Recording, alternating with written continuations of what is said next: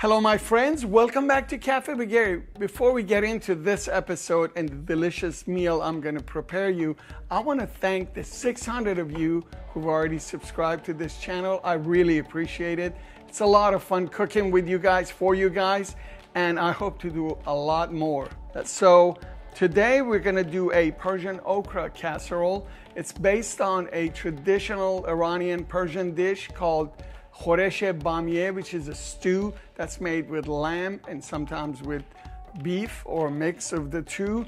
And it's got okras and tomatoes and onions, and it's delicious. So, this is our take made in a uh, standard um, North American European casserole format, which is a lot easier. We make it in the oven instead of in a pot in the stew format. So stick around and let's make some Persian okra casserole together. I think you're gonna like this one.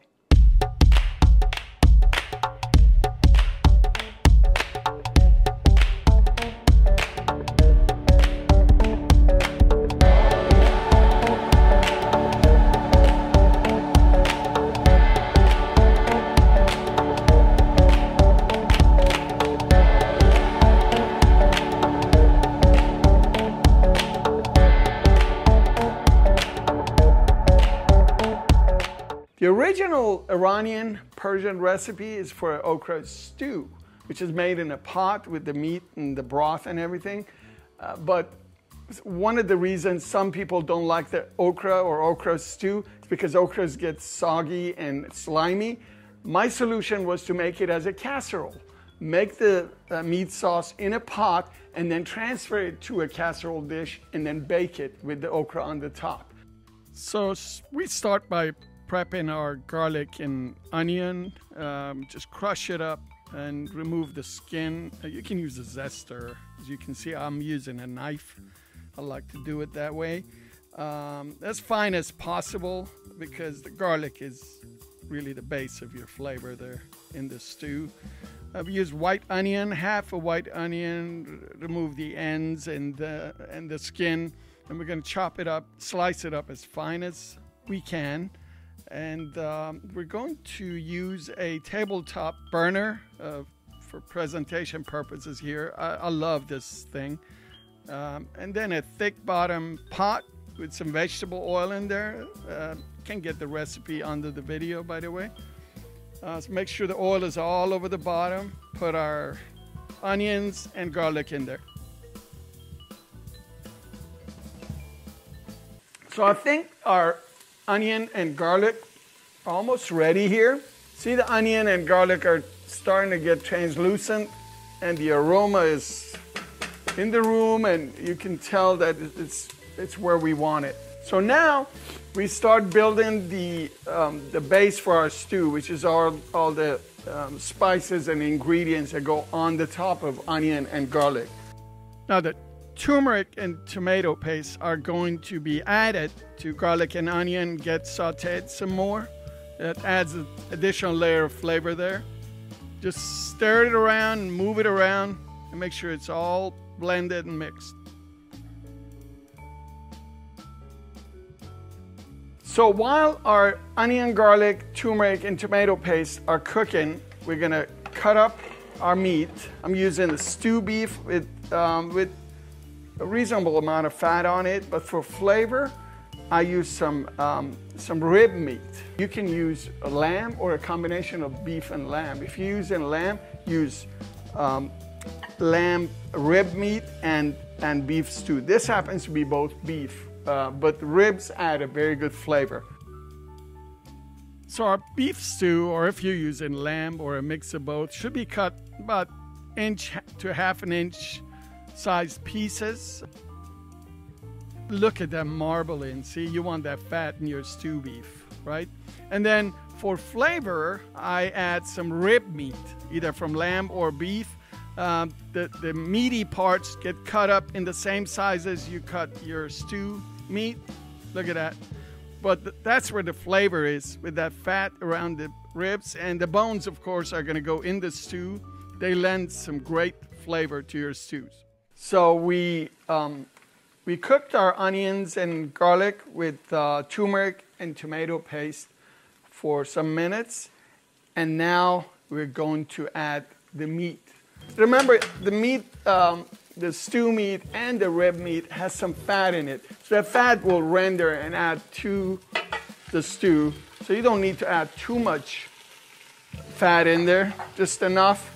Now, this is the flavor magic. These pieces of bone, you push them to the bottom to make sure they get some color and get sauteed.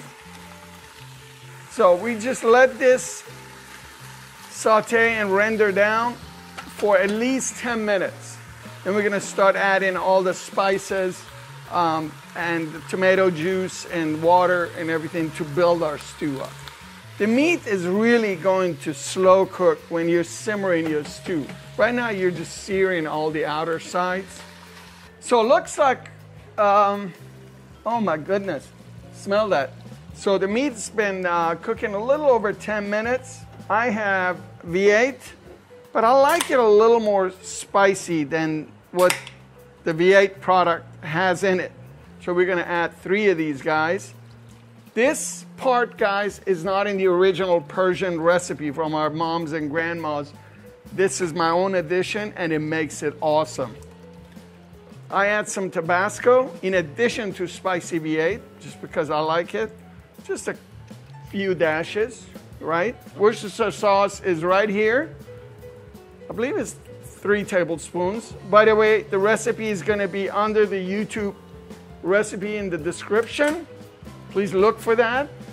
Soy sauce. So these two items also are my additions. The Persians don't have soy sauce or Worcestershire sauce. Now we're gonna put some fresh squeezed lime juice in there. Just quickly juice the lime. If you have lime juice from the bottle, go for it, whatever is easier for you.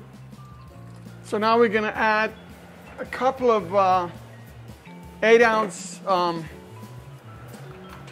cans of tomato sauce.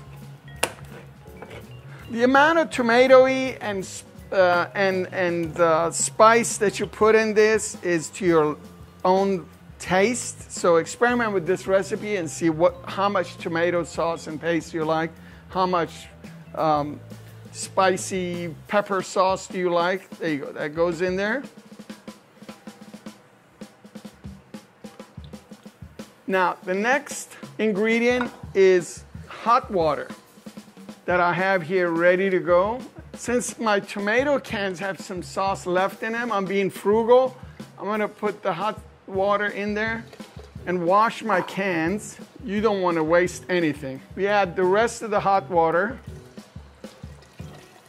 Never ever add cold or warm water to your stews because you've built it up and built up the heat cooking it to this level, you don't want to put cold water in there and bring down the temperature. Always add hot water to your stews. Now you mix that. Make sure your fire, uh, fire is at highest possible. The goal is to get this to boil. We're going to add salt and pepper. Now again, the amount of salt and pepper can be adjusted uh, towards the end, however much you like. That's fresh ground black pepper.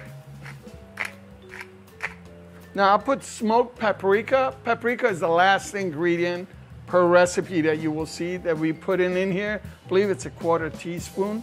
You see we're going for an initial boil, then we're gonna bring it down to low or simmer and let it simmer for 30 minutes. So we're gonna come back in 30 minutes and see what our stew looks like. Then we're gonna start building the casserole layers by sauteing our okra and onions. So while our stew is uh, simmering for 30 minutes, we're gonna slice our onions and tomatoes that are gonna be used to put the casserole together.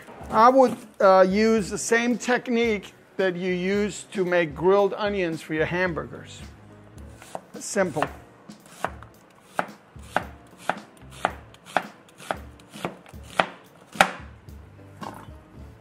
Now we put this aside. So we need a thick layer of sliced tomatoes on this casserole dish. And I use uh, five or six Roma tomatoes. So I'm slicing these about quarter of an inch thick, and they're going to be used um, kind of in a uh, cascading pattern, overlapping to cover the meat and onions on the casserole. You will see in a minute. There you go. So we got our tomatoes and our onions. Tomatoes are gonna go on the casserole before going into the oven, just raw like this. But we're gonna have to saute the onions just like you do grilled onions for your hamburgers or whatever. So we are putting our frying pan. Let's put some more oil in there.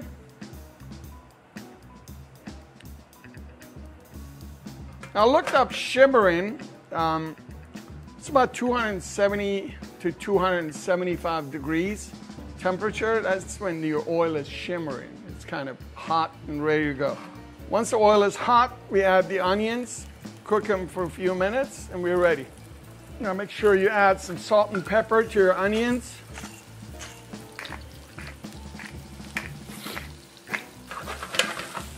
You don't need to really cook, overcook these because they're going to be cooking um, when you put everything in the oven, in the casserole.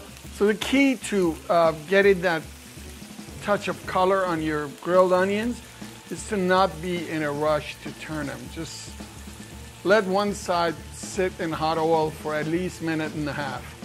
Our onions are sauteed now about six or seven minutes. As you can see, it's got some golden color and it's ready. Next is going to be to clean and saute our okra, the star of the show. I, I love to use fresh okra. It's not always the freshest in the market, uh, but frozen is fine. Frozen whole okra works for this dish in the freezer section of your grocery store if you can't find uh, fresh okras like in the winter or off season. So what we do always with any produce, we're gonna wash them first. These are pretty clean. There's nothing to worry about here, but just make sure you run some water through it and pick anything that doesn't look good and leaves any debris that came from the shipping. Make sure all the water is strained out of this because you're to be sauteing it in hot oil and that could um, burn you or you know get splatters. So our stew is still simmering, close to the end of 30 minutes. We have our tomatoes ready, our onions are sauteed. Now we're going to saute our okra, the final layer of our casserole. And I'm going to put the okra in two batches because my pan is not big enough.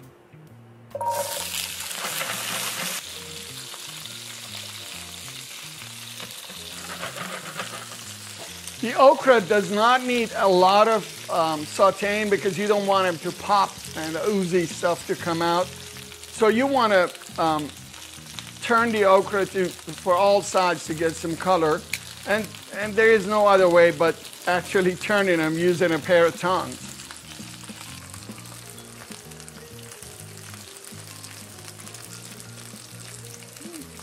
So look at this. See? This is where we're going, the kind of level of golden color that these okras need. We're gonna add them to the rest. So we're gonna add some salt and pepper in this bowl. Because remember, the, the broth from the stew will add flavor to all of the layers of the casserole, but I still want a little bit of salt and pepper. There's a little too much oil on these okras for my taste. So after I apply salt and pepper, I have a plate here lined with um, paper towel. I'm gonna just dump them on here for some of that oil to be absorbed. And you can also do this. Look at that. See? Now we are ready to put our casserole together. Our meat sauce is ready. The timer went off. Got our tomatoes sliced, our onions are sauteed, and our okra is sauteed and ready. We're gonna get a casserole pan and do this. while our oven is heating up to 375 degrees Fahrenheit, we're going to build layers of the okra casserole, starting with the meat sauce, okay? So we're gonna use this dandy spider, I love this thing, to fish all of the meat out of here, just the meat. The pieces of bone that we have put in here for flavor, we're gonna leave. Look at that. We're done with our spider. Look, I spread this evenly to make sure I get an even layer of meat. So we're gonna temporarily move the stew here. So next, we're going to uh, layer our grilled onions, our cooked onions on here. There you go. Remember I added some salt and pepper to the onions when I was grilling. This is when you can do this. Just taste a little bit and see if it needs a little bit of salt or pepper. Now tomatoes, go. This is what I was talking about, just the way you cascade and overlap. Same idea as our French apple tart, if you've seen that video. If you haven't, on this channel, please go and see my French apple tart. What I do is I press the whole thing down make sure it's compacted all the way and then basically lay down the okra back and forth orientation like this.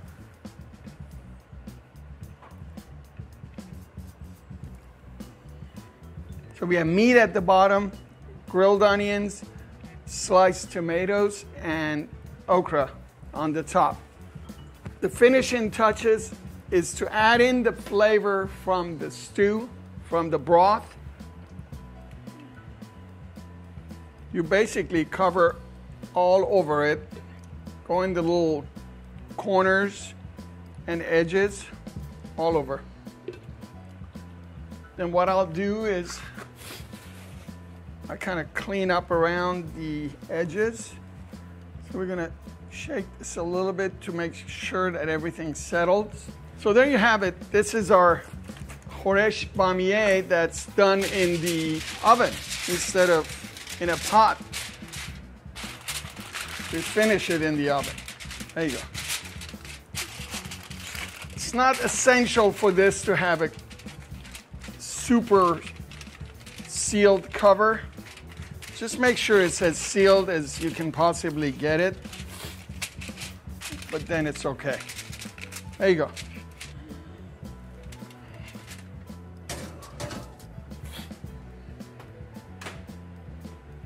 So our 45 minutes at 375 degrees Fahrenheit is done. Our casserole is ready. Let's see what it looks like. It smells wonderful. Let's not burn ourselves. Look at that. Awesome. So here you have it, guys. Persian okra casserole or khoresh bamiyeh, traditional Persian dish, Iranian dish. Um, this is a easy way to do meal prep, make a large amount of this for eight or 10 people in a casserole dish. I serve it with Persian saffron rice with some vegetables mixed. You can serve it with your steamed vegetables or whatever you like. Um, I hope you try this dish. And I'd like to see the pictures as usual. If you haven't subscribed to my channel, um, thank you for the 600 of you who have already subscribed. Please subscribe, hit the little bell button so we can keep in touch.